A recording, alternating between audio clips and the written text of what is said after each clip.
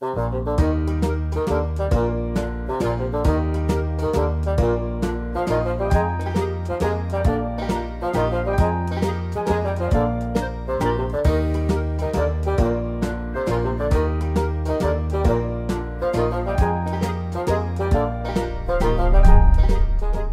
perhatikan gambar ini.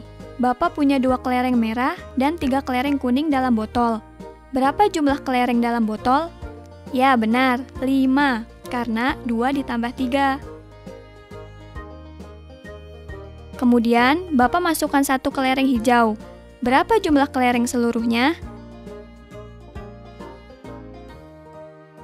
Ya, betul. 5 ditambah 1 sama dengan 6.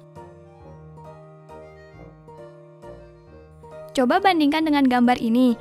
Bapak punya dua kelereng merah yang akan dimasukkan ke dalam botol, satu kelereng hijau, dan tiga kelereng kuning yang sudah ada dalam botol. Berapa jumlah seluruh kelereng? 6.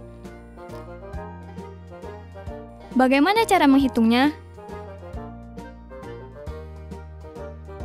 2 ditambah kurung buka, 1 ditambah 3 kurung tutup sama dengan 2 ditambah 4 sama dengan 6.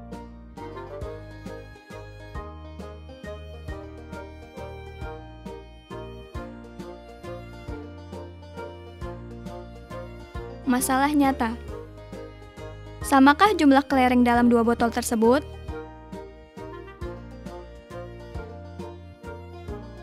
Ya, benar sekali, sama.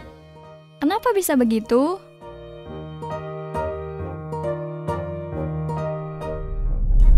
Hai anak-anak, berjumpa kembali dalam program Gemar Matematika bersama Pariduan. Ingat, belajar matematika bersama Pariduan membuat matematika menjadi lebih mudah. Anak-anak, Bapak sedang memakai pakaian dari Gorontalo. Di Gorontalo ada tarian namanya polo-polo, tarian untuk muda-mudi. Jelas ya? Nah, anak-anak, Bapak sekarang akan menerangkan tentang sifat asosiatif. Kalian sudah lihat kan tayangan tadi?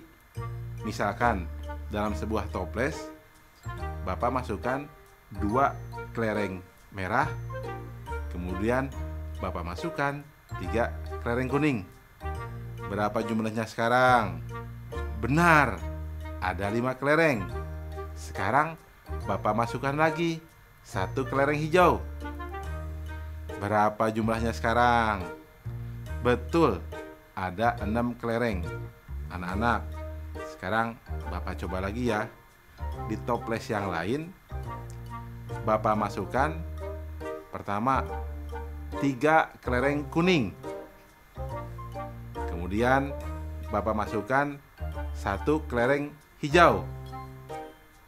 Setelah itu Bapak masukkan dua kelereng merah. Jumlahnya berapa? Betul, ada enam kelereng. Anak-anak, sama tidak jumlah kelereng di toples yang pertama dengan yang kedua? Betul, sama. Nah, anak-anak, Bapak akan terangkan dengan konsep matematika, nalaria, realistik. Penasaran? Baik, perhatikan penjelasan berikut ini. Baik anak-anak, Bapak akan menerangkan pemahaman konsep tentang sifat asosiatif.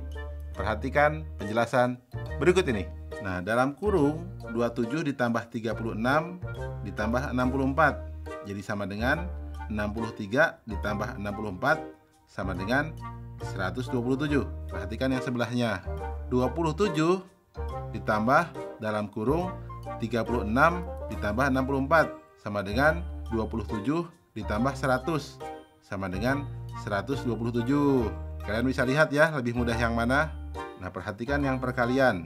Dalam kurung 15 kali 25 dikali 12 sama dengan 375 dikali 12 sama dengan 4500. Lihat sebelahnya.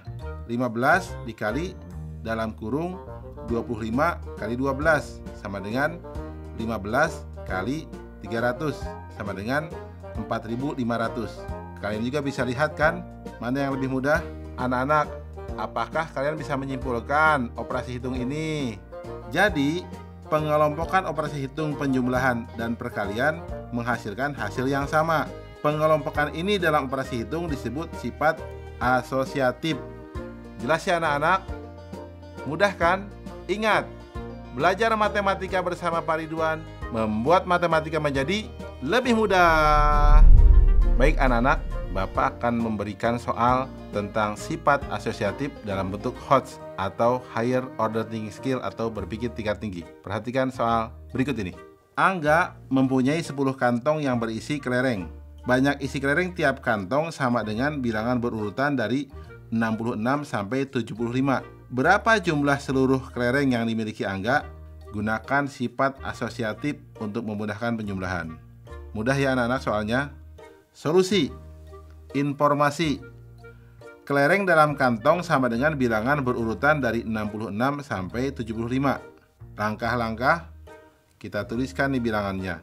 66 ditambah 67 ditambah 68 ditambah 69 ditambah 70 ditambah 71 ditambah 72 ditambah 73 ditambah 74 ditambah 75. Kemudian kita kelompokkan.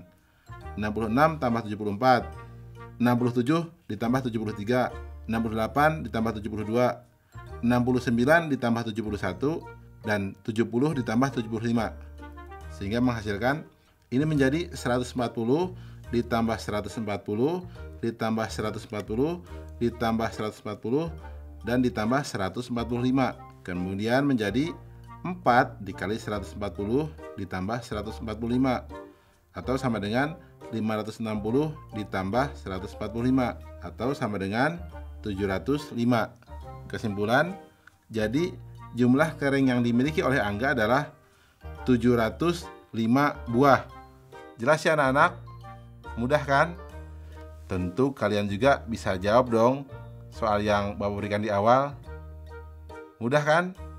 Ingat, belajar matematika bersama Pak Ridwan membuat matematika menjadi lebih mudah.